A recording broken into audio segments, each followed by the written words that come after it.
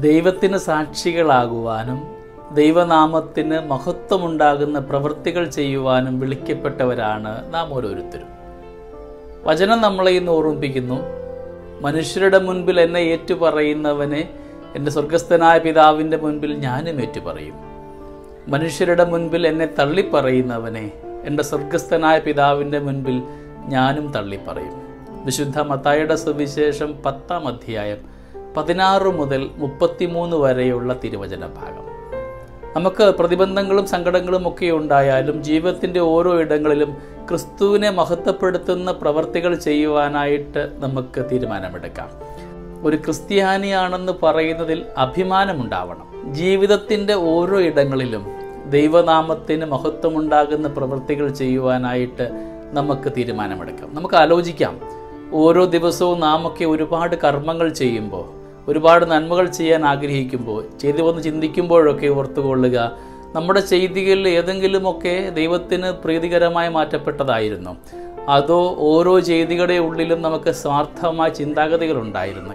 ഇന്ന് പലപ്പോഴും പലയിടത്തും കാണാൻ സാധ്യമാവുക സ്വാർത്ഥമായ ലക്ഷ്യങ്ങൾ മാത്രമാണ്. അത് ആത്മീയതയുടെ കാര്യത്തിൽ കൂടിയാണെങ്കിലും ആത്മീയതയുടെ മറ പിടിച്ചുകൊണ്ട് ആത്മീയതയുടെ പേരിൽ തിരുവസ്ത്രങ്ങളുടെ മറവിലൊക്കെ ഒരുപാട് കുറ്റകൃത്യങ്ങൾ നടക്കപ്പെടുന്നുണ്ട്.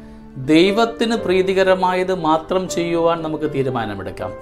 നമ്മുടെ ജീവിത മേഖലയിലൊക്കെ ക്രിസ്തുവിന് സാക്ഷ്യപ്പെടുന്ന ജീവിതമായി നമ്മുടെ ജീവിതം മാറ്റിയെടുക്കുവാൻ ഇന്ന് തീരുമാനമെടുക്കാം. എവിടെങ്കിലുമൊക്കെ പാളിച്ചകൾ ഉണ്ടായിട്ടുണ്ടെങ്കിൽ സ്വാർത്ഥമായ ബന്ധങ്ങളിലേക്ക് പോയിട്ടുണ്ടെങ്കിൽ സ്വാർത്ഥമായ നേട്ടത്തിനു വേണ്ടി മാത്രം എന്റെ ജീവിതത്തെ മാറ്റിവെച്ചിട്ടുണ്ടെങ്കിൽ ഒക്കെ ഉപേക്ഷിച്ചുകൊണ്ട് ദൈവത്തോട് കൂടെ ആയിരുന്നു കൊണ്ട് ദൈവത്തിന് നന്ദി പറഞ്ഞ് ജീവിക്കുവാനും ജീവിതത്തിന്റെ ഓരോ പ്രഭാതവും അനുഗ്രഹമാക്കുവാൻ നമ്മുടെ ജീവിതത്തെ ഈശ്വര സന്നിധിയോട് ചേർത്ത് വയ്ക്കാം നാം ഇന്ന് പരസ്പരം ബന്ധപ്പെടുന്ന കണ്ടുമുട്ടുന്ന എല്ലാ ഇടങ്ങളിലും ഒരാളോടെങ്കിലും ക്രിസ്തുവിനെക്കുറിച്ച് പറയുവാൻ ക്രിസ്തുവിന്റെ നന്മ പ്രഘോഷിക്കുവാനായിട്ട് നമുക്ക് തീരുമാനമെടുക്കാം.